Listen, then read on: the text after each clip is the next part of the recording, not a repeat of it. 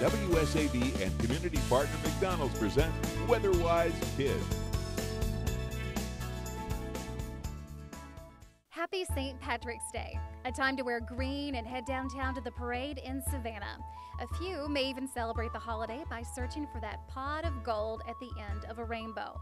But they'll never find it, it's just a legend. A big misunderstanding, actually.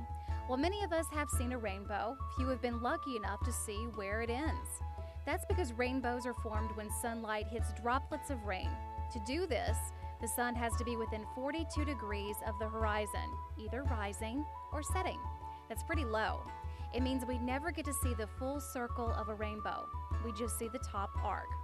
Even as far back as the 1600s, the Irish knew this.